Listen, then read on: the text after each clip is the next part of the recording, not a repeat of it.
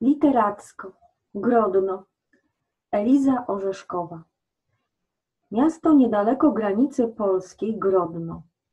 Miejsce banicji Elizy Orzeszkowej, która zmuszona zamknąć księgarnię w Wilnie, dostała nakaz wyjazdu do tego miasta nad Niemnem. Grodno to miasto urokliwe, gdzie malownicze krajobrazy nad rzeką Niemen zachęcają na spacer nad rzeką.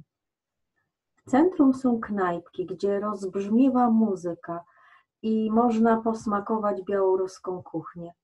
Zaś w centrum handlowym Korona można zrobić zakupy. Sok z brzozy, mydło czy nabiał, którego z Białorusi nie można wywozić.